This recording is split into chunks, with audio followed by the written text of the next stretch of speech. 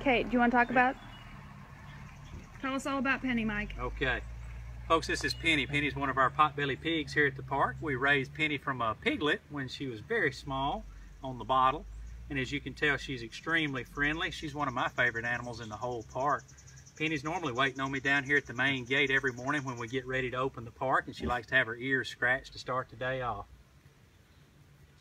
Look for Penny down here at Wild Animal Safari in Pine Mountain, Georgia. And who's this? I have no idea. Okay, Mike, you're supposed to make something up.